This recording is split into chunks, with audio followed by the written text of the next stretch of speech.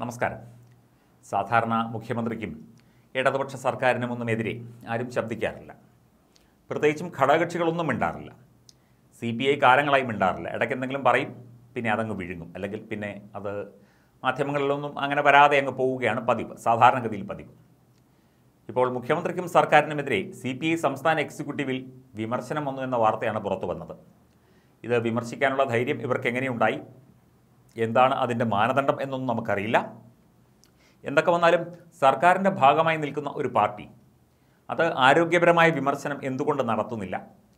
C P M എന്ന പാർട്ടിയും മുഖ്യമന്ത്രിയും മുഖ്യമന്ത്രിയുടെ വേണ്ടപ്പെട്ടവരും സി പി എമ്മിന്റെ മുതിർന്ന നേതാക്കളുമൊക്കെ വിവിധ വിഷയങ്ങളിൽ നമ്മുടെ മാസപ്പടി വിഷയത്തിൽ കരുവന്നൂർ വിഷയത്തിലൊക്കെ തന്നെ വലിയ പ്രതിരോധത്തിൽ നിൽക്കുമ്പോഴും സി പി ഒന്നും മിണ്ടിയിരുന്നില്ല.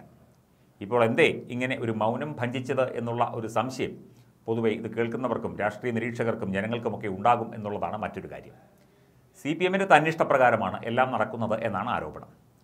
സി പി ഐയുടെ വലിയേട്ടനാണ് സി പി എം എന്ന് പറഞ്ഞും വാർത്തകൾ നമ്മൾ കണ്ടു. മുഖ്യമന്ത്രിയും സർക്കാരിനെയും വിമർശിക്കാൻ സി പി ഐക്ക് എന്താണ് ഇത്ര ഭയം? സി പി ഐയുടെ എന്തെങ്കിലും രഹസ്യങ്ങൾ സി പി എമ്മിന്റെ കയ്യിലോ മുഖ്യമന്ത്രിയുടെ കയ്യിലോ ഉണ്ടോ? തുടങ്ങിയ ചോദ്യങ്ങളും അവിടെ ഉയരുന്നുണ്ട്. ഇപ്പോൾ പറയുന്നത് സർക്കാരിന്റെ മുൻഗണന മാറ്റണമെന്നും സംസ്ഥാന വിഹിതം വെട്ടിക്കുറച്ച കേന്ദ്രത്തിനെതിരെ സമരം ചെയ്യാൻ മുഖ്യമന്ത്രിക്ക് മടിയാണെന്നുമാണ് സി പി ഐയിലെ അംഗങ്ങൾ കുറ്റപ്പെടുത്തുന്നത്.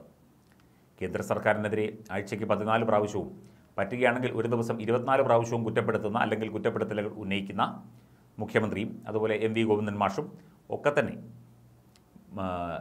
കേന്ദ്ര സർക്കാരിനെ കുറ്റപ്പെടുത്താൻ എന്താണ് മുഖ്യമന്ത്രിക്ക് ഇത്ര മടി എന്ന് ചോദിക്കുമ്പോൾ എന്ത് മറുപടി പറയും എന്ന് നമുക്കറിയില്ല. ഇവിടെ എന്തിനും ഏതിനും കേന്ദ്രത്തിനെ കുറ്റപ്പെടുത്തുന്നു. കെ എസ് ആർ ടി സിക്ക് ശമ്പളം കിട്ടിയില്ലെങ്കിൽ കേന്ദ്രത്തിനാണ് കുറ്റം.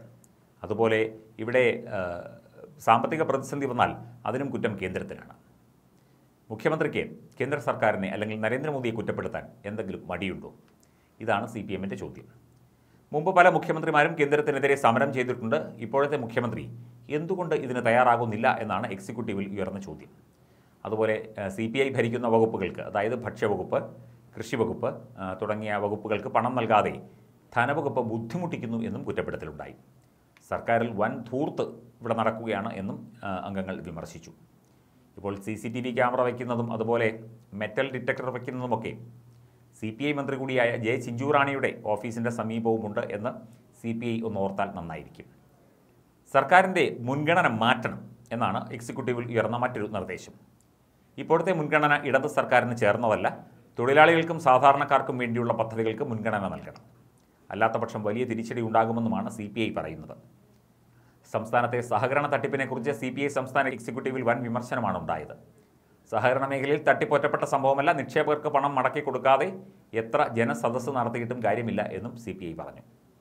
ഇപ്പോൾ തിരുവനന്തപുരത്ത് കണ്ടല സർവീസ് സഹകരണ ബാങ്കുമായി ബന്ധപ്പെട്ട തട്ടിപ്പ്. ഈ ഭാസുരാങ്കൻ എന്ന് പറയുന്ന വ്യക്തി സി പി ഐയിലേക്ക് വന്ന വ്യക്തിയാണ്. അദ്ദേഹം പണ്ട് വേറെ ഏതോ പാർട്ടിയായിരുന്നു. അതിനെക്കുറിച്ച് എന്താണ് എക്സിക്യൂട്ടീവ് ചർച്ച ചെയ്യാത്തത് എന്ന ചോദ്യമുണ്ട്. പിന്നെ ധൂർത്തിന്റെ കാര്യം ഞാൻ നേരത്തെ പറഞ്ഞു. പിന്നെ മുൻഗണന കൊടുക്കേണ്ടത് ഏത് വിഷയത്തിലാണ്? ഇവിടെ അഴിമതിയും മാസപ്പടിയും തട്ടിപ്പും വെട്ടിപ്പും ഒക്കെ തന്നെ ഇങ്ങനെ ചർച്ചയാവുമ്പോൾ എങ്ങനെ പാവപ്പെട്ട സി പി എം മറ്റ് വിഷയങ്ങൾക്ക് മുൻഗണന കൊടുക്കും? ഇവിടെ ഇതിനെ ന്യായീകരിക്കാൻ അത- അതായത് ഈ സംഭവങ്ങളെയൊക്കെ ന്യായീകരിക്കാൻ വേണ്ടി തന്നെ വലിയ ഗവേഷണം നടത്തിക്കൊണ്ടിരിക്കുന്ന സി പി എമ്മും എം വി ഗോവിന്ദൻ മാഷും സർക്കാരും മുഖ്യമന്ത്രിയുമൊക്കെ വല്ലാത്ത പ്രതിസന്ധിയിലാണ് എന്നുള്ള കാര്യം സി ബി ഐക്ക് അറിയില്ലേ? എന്തിനാണ് പിന്നെ സി പി ഐ ഇങ്ങനെ ശവത്തിൽ കുത്തുന്നത് എന്ന ചോദ്യം? ഇത് വായിക്കുന്നവർക്ക് മനസ്സിലെങ്കിലും തോന്നിയേക്കാം. സി പി ഐ നല്ല കാര്യം പറയും നല്ല കാര്യം ചെയ്യും. തീർച്ചയായിട്ടും അതുതന്നെയാണ് വേണ്ടത്. നിങ്ങൾ ചെയ്യുന്ന നിങ്ങൾ പറയുന്ന നല്ല കാര്യങ്ങൾ വിമർശനാത്മകമായ കാര്യങ്ങൾ തീർച്ചയായിട്ടും അംഗീകരിക്കും പൊതുജനം. പക്ഷേ സി പി എം അംഗീകരിക്കണം മുഖ്യമന്ത്രി പിണറായി വിജയൻ അംഗീകരിക്കണം സർക്കാർ അംഗീകരിക്കണം ഗോവിന്ദമാഷ് അംഗീകരിക്കണം എന്നൊക്കെ പറഞ്ഞാൽ വലിയ ബുദ്ധിമുട്ടിലേക്ക് കാര്യങ്ങളെത്തും എന്തായാലും വിമർശിച്ചല്ലോ. എക്സിക്യൂട്ടീവിലെങ്കിലും അവനവന്റെ എക്സിക്യൂട്ടീവിലെങ്കിലും വിമർശിക്കാനുള്ള ത്രാണി സി പി ഐ എന്ന പാർട്ടിക്ക് ഉണ്ടായല്ലോ എന്നോർത്ത് നമുക്ക് എല്ലാവർക്കും സന്തോഷിക്കാം. കാരണം ഒരു പൊതുവേദിയിൽ ഇത് പറയാനുള്ള ധൈര്യം സി പി ഐക്ക് പണ്ടേ ഇല്ല ഇപ്പോൾ ഒട്ടുമില്ല എന്നാണ് പറയപ്പെടുന്നത്. നമുക്കറിയില്ല. എല്ലാം മാറ്റി നന്നായിട്ട് വന്നാൽ ജനസദസ് നടത്തിയത് നടത്തിയതുകൊണ്ട് കാര്യമില്ല. എല്ലാം നന്നായി തന്നെ മുമ്പോട്ട് കൊണ്ടുവന്നാൽ സർക്കാരിനും കൊള്ളാം സി പി എമ്മിനും കൊള്ളാം മുഖ്യമന്ത്രിക്കും കൊള്ളാം എല്ലാവർക്കും കൊള്ളാം എന്നാണ് സി പി ഐ പറയുന്നത്. സി പി ഐ പറയുന്ന ഇക്കാര്യങ്ങളെങ്കിലും സി പി എം അല്ലെങ്കിൽ സർക്കാർ മുഖ്യമന്ത്രി ഒന്ന് മുഖവിലക്കെടുക്കും എന്ന പ്രതീക്ഷയിലാണ് ഇതൊക്കെ പറഞ്ഞത്. പക്ഷേ എന്ത് സംഭവിക്കും എന്നറിയില്ല.